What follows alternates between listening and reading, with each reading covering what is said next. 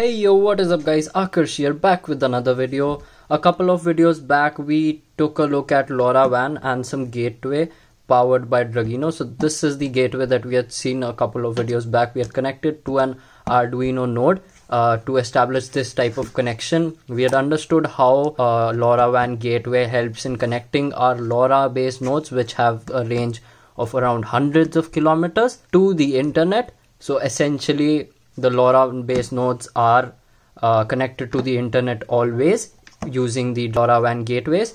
We'll be stepping our game up by a notch today. So for the gateway, we had a single channel gateway that time from Dragino and Dragino has sent us an 8 channel gateway this time and we'll be using this for today's video so we'll be keeping this out of frame today. We'll be taking a look at some gps trackers. We'll be building one gps tracker with the arduino today connecting it to the dragino gateway.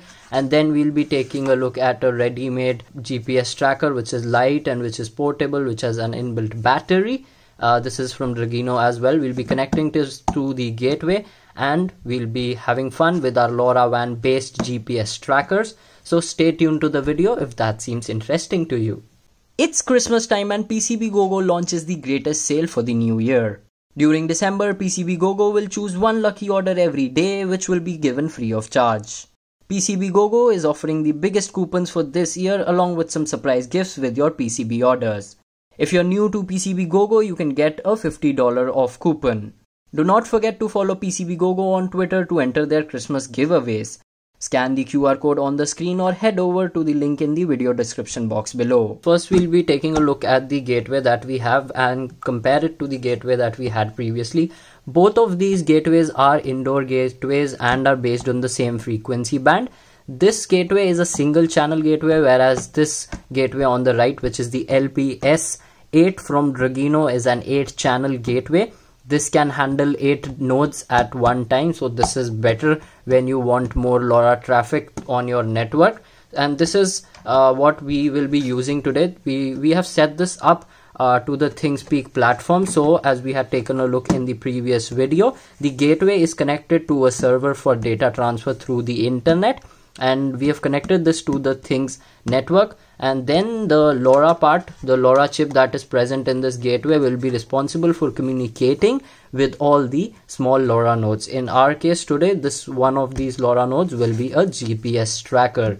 So for the LPS8 the setup is pretty easy once we connect uh, the gateway to our router using an ethernet cable you can access its web portal as on the screen right now. I've connected the gateway to my Wi-Fi network and it shows over here as well. We have connected it to LoRa we have connected it to LoRaWAN on the things network as well. It's acting as a Wi-Fi access point as well. So the configuration page of this gateway online is pretty intuitive and it's very easy to set up. If we see at the console of the ThingSpeak network the gateway is live and connected. It was last seen 22 seconds ago. It's connected right now. It's working on the frequency band that i have selected. And then there's some received and transmitted messages as well over here. If you want a detailed setup guide of this gateway with the things network do take a look at this video. Now we have four status leds over here. The first one is the power led it's on. And the third one is the internet led it's also on. The fourth one is the ethernet or the LAN port uh, or the ethernet port uh, led it's off right now because we have connected this through wi-fi this is when the wi-fi access point is active so the gateway is on and it has a stable internet connection as well so we can keep this at a side for now. Now looking at the GPS trackers that we'll be connecting to this gateway, both of them have a LoRa chip. This one has this Zigbee type format, which is an SX1276 module so it's over there. It has a gps uh, module as well and this this is a shield for an arduino. So there's no real wiring involved. There are two jumper wires that you need to hook up here. You need to remove the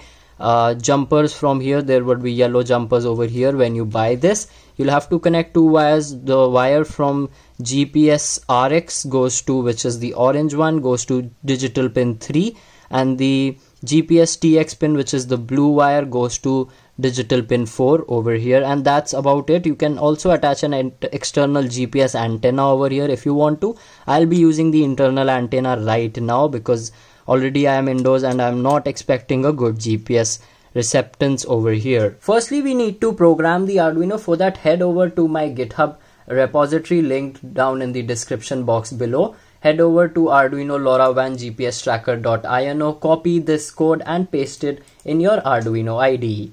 Then head over to your Things Network console. You need to create an application.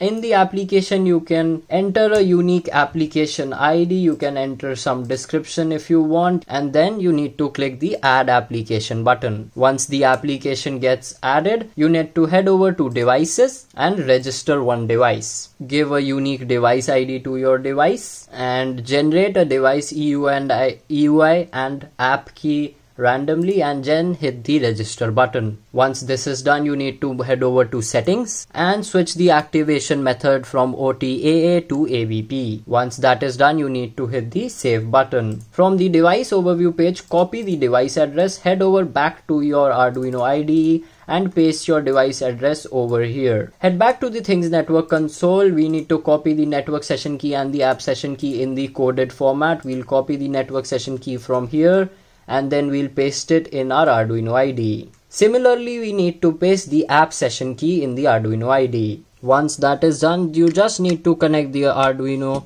to your computer using the USB cable. Head over to tools, select the correct COM port and just hit the upload button. Once the code gets uploaded, we can open the serial monitor at a baud rate of 9600 and we'll start seeing some details wherein the Arduino will be transmitting some data to the Things network. Head back over to the Things network, open the application that we had created, head over to the payload formats, get back to the GitHub repository. From here you need to open the Arduino GPS tracker payload code. You need to copy this and paste it under the payload formats in the application. Once that is done, you need to save the payload function. This payload function will be decoding the data received on the things network. We can now head back to devices. We do see that it's connected and it was last seen 10 seconds ago. It has two frames up as well. If we head over to the data tab, we'll see some data before applying the payload function. We saw some random data once we had applied the payload function we can see that it shows some latitude some longitude and a, a, a message TTN payload functions. So this can be customized according to the payload function and the code that we wrote in the Arduino. Right now the device is not latched to the GPS satellites. It takes some time but it does. Also an external antenna on the GPS module always helps and keeping this directly under the Open Sky also helps in a faster GPS satellite location tracking. So this was it about setting up the Arduino based GPS tracker but again we see that this is a bit bulky and not a very aesthetically good looking device. So for that Dragino comes up with this. So this is the Dragino LGT92 LoRaWAN GPS tracker. It has a similar structure in inside. It has a microcontroller. It has a LoRa chip. It has a GPS tracker. It comes inside this box. When you open this box, you see some details over here. These are some keys that are pre-coded into this so you will have to keep the sticker. Along with this it comes with some accessories like a USB cable, some watch straps etc.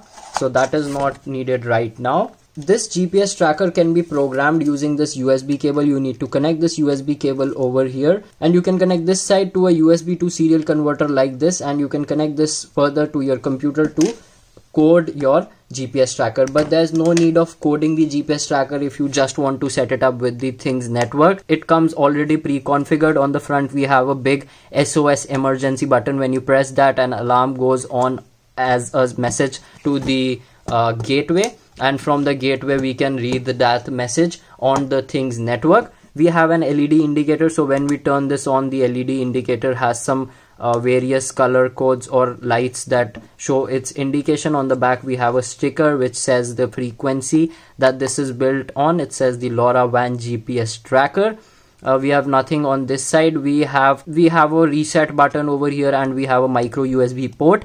Again we can program this uh, using this micro USB port and we this USB port is also used for charging the device as this device has a 1000 mAh internal lithium ion battery so it's entirely portable you can hang this anywhere there comes a strap in the box with which you can hang this wherever you want to. To set this up, we will need some IDs. One is the device EUI that is written over here. Then we have the app EUI, the app key and the app session key. To set this up, we need to create a similar application like we did for the Arduino GPS tracker. But this time in the applications, when you go in the UI, you need to remove the default EUI and and enter the app EUI that you will find on the box over here. Once you do that you need to get back to the devices section. You need to create a new device which we have already done over here. Here in the settings section you need to enter the device EUI uh, that you obtain from the box. Along with that you need to enter the app key that is again present on the box. So once you enter these two keys over here your device gets registered. Now when we switch on this device you see that we obtain a green light. For every blue light we see that a message gets transferred. And as we see on the screen over here we just saw it 6 seconds ago. And we see the blue light blink again and we see the status over here. Here we go to the data tab. Right now it's sending sub being online messages that we received just now. And we received one message over here again. Once this device gets stable after around 10 seconds it'll start transmitting the actual gps coordinates as well. But we need to decode those payloads as well. So for that again we need to head over back to my github. Over there we need to head over to lgt92 gps tracker payload you can copy this payload and you need to paste this under the application payload formats you need to paste this over here so that your data gets decoded.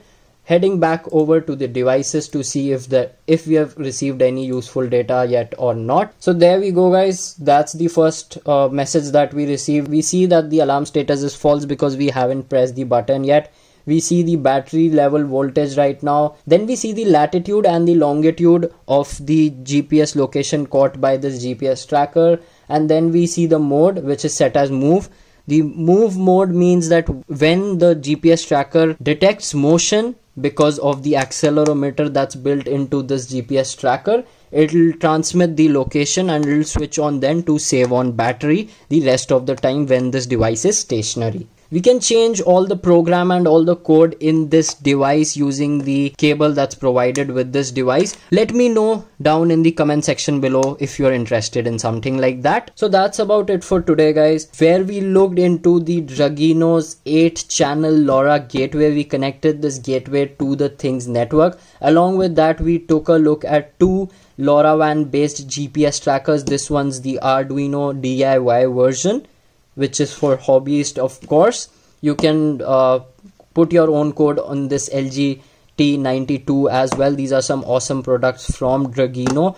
All the purchase links for all these products will be in the description box below. Go ahead and check the products out. If you're wanting to get into LoRa networking protocol Dragino is the place to be. They have a lot of options from uh, the beginner level single channel gateway to the intermediate level 8 channel gateway and they have some really advanced high tech stuff as well. If you want to know more about LoRa I've done a really long playlist all about LoRa do check that out from over here. And that's it from my side for today.